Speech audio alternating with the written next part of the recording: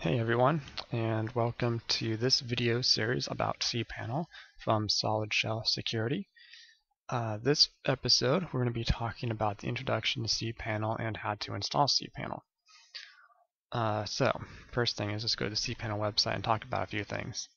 Ideally, you want to install cPanel on a dedicated server. If you go to VPS, consider getting a Xen or a KVM the only reason I mention that is so you can use the advanced partitioning and this allows you to configure and set up your system so you can have everything isolated. The reason I say this is uh, I've seen servers several times they get filled up on a partition and it crashes the entire system.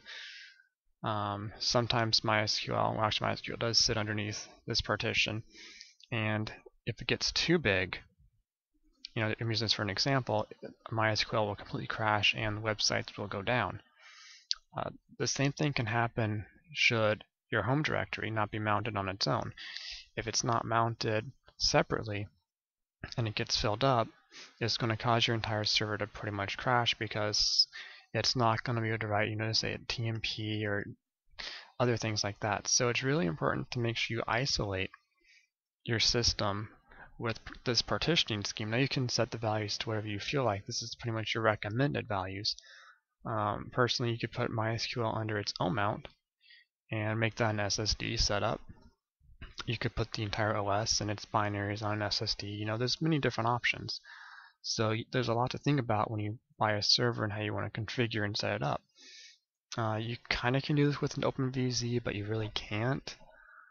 Uh, so you're really better off just buying a dedicated server with the advanced abilities to configure and set everything up how you want to. Uh, so the other thing is uh, about cPanel is it's very very picky about how it does everything. So if you're going to add IPs, remove IPs, do management, maintenance and stuff, you need to understand cPanel and read the documentation and do it their way. If you don't, IPs will go missing, uh, sites will go offline, things won't work correctly, everything has to be done by their guidelines. If you don't, you can have issues and problems. So read the documentation, and this video series will talk about how to do a lot of stuff, how to maintain files, edit files, configurations, so you do everything cPanel's way. That way, you know, you don't have IPs going AWOL, running away, and sites going down. And clients calling you up saying, what's wrong, what's wrong? And this will also teach you in this series how to prevent clients from calling you up, meeting stuff done because you know you've already taken care of it. Uh, the other thing I want to mention is that with cPanel, there's not a one-way configuration that works.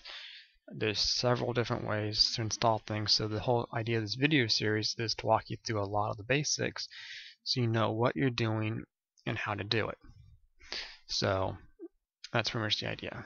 Uh, pretty much installing cPanel is is all you gotta do is you know cd to home. You can actually cd to root wherever you want to. They just use home as the main directory, and then just copy and paste this command.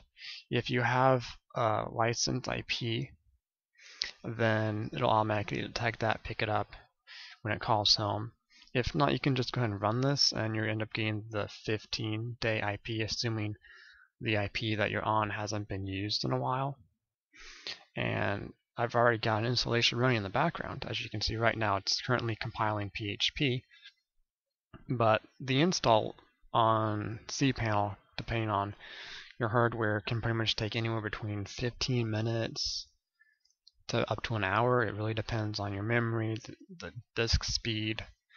Um, it really depends. So during this time, typically what you want to do is grab a nice coffee, uh, play with the cat, get some catnip, find some kittens outside, you know. You could maybe go find some alley cats. I'm pretty sure they'd pay a lot for that catnip weed. So, I mean, yeah, you're pretty much just going to sit around, multitask, do something else while this thing installs because it's going to take a while. And once we're done with that, we will come back and we will bring up the the web interface and walk through the settings, the layout, and cover how to correctly install and configure everything. and how to optimize. So if you haven't already, make sure you hit the subscribe button at the top and because we're going to have a lot of videos coming out. So you want to make sure you stay on top of that. If you don't have a YouTube account, go ahead and give away your information so Google knows all about you and then hit subscribe. We're worth it. So I'm going to pause this video right now. I'm going to come back once cPanel is done installing. Okay, we're back. as you can tell, uh, cPanel has been installed and it actually took 36 minutes. So it's about in the mid-range. So once you have cPanel up, you can go to the IP and as you can tell we've got default install so we know it's installed. So we go to the WHM login. Once again it's IP slash WHM or you can go directly to you know the actual port number at the top. Either way works. Hit login and so you log in you're going to get the uh, license agreement. I'm to go ahead and say yes I agree um, then you're going to fill in your address we're just gonna do something, you know, simple. I mean, you can go through and fix this stuff later. So we're just gonna do something quick, simple. Um, all that looks good. Go to the next step. And as you can tell, it's already found the IP addresses and it's listed them in. So this is good. If there's other IP addresses, you know, we can add them later, but it's found the current ones installed. Um, if you're going to host DNS on the actual server, you can pick the one you want to run on. Um, preferably, I just use bind. Um, I've used it a lot, so I just stick with it. If you want to learn other ones or you have specific needs why you want to use one of these, you can use them. Uh, everything's pretty much automatic, so you don't have to. Um, I'm just fami more familiar with the one at top, so I kind of stick with it. But it's more of a matter of preference. If you're not going to run DNS on this server, you can go ahead and disable it. So I mean, this that's if you're going to run uh, remote DNS servers like NS1, NS2, NS3, and so on on different servers, and you want to link to them, you just disable it on the main hosting server to save resources and stuff. Um, so all this is good, all this is good. Just going to go ahead and automatically, you know, add the stuff.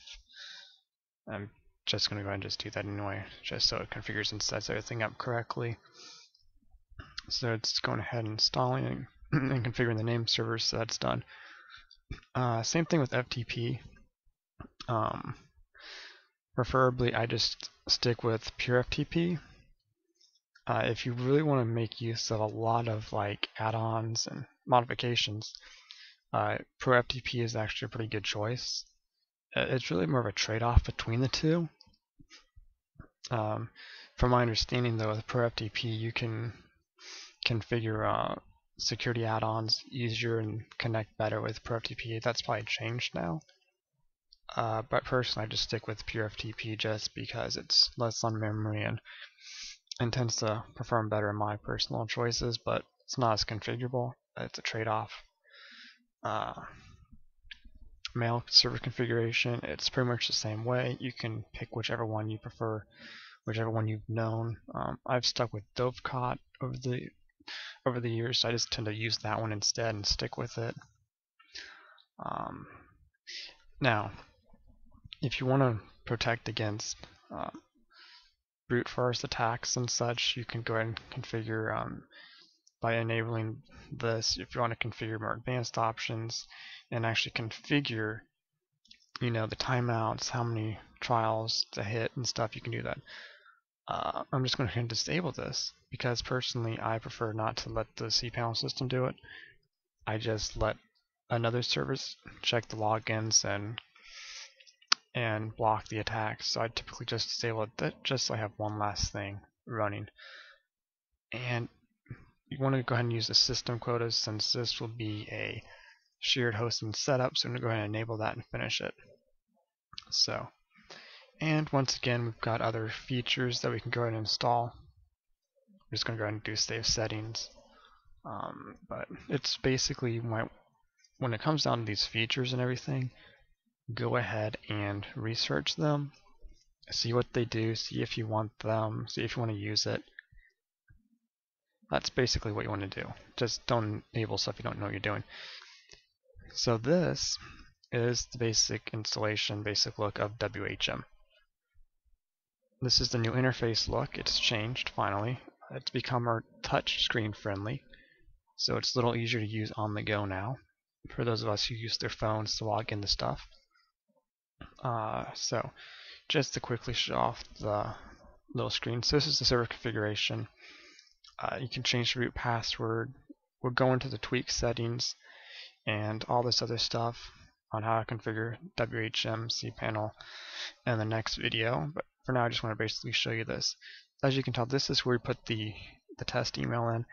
So you can go ahead and rename that to whatever you want to do. And you can reconfigure a lot of those settings here.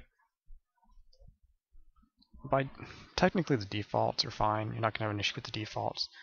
But just showing you that you can actually change anything. So if you've made a mistake, you can just go back and do that.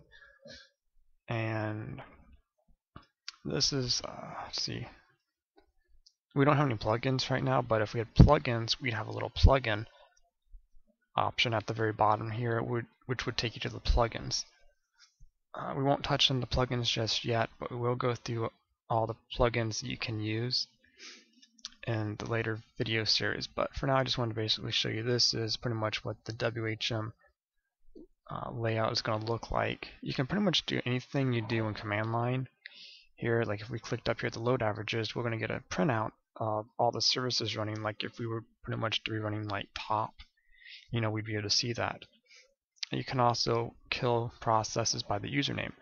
So if we have a user that's you know abusing resources, we can go in here, select their name, and hit kill user processes. That's assuming we have you know PHP and running to you know as a user, and also if we have suEXEC running as well to you know run everything as that user. So just showing you that we do have a lot of the command line interface commands in WHM. So you can pretty much do anything you'd actually really need to on a basic level from within WHM. So, you know, we can add IPs through WHM, which you really need to do. Like from networking setup here, you know, we can change host name, manage the name server IPs, redirecting here real quick. But just showing you that, you know, we can in fact, you know, configure stuff. As you can tell, we've got zones there. We can always go in and edit them. But so pretty much everything you can pretty much do through WHM and not really have much need to really have to use command line unless you really absolutely have to. I mean, you still will, but most of the time you can pretty much just do the stuff through WHM. So that pretty much concludes this video episode. So we've talked about how to install cPanel, we've talked about the basics of configuring and how to configure and how to access the services. So the next video we are going to talk about actually configuring and securing. So stay tuned.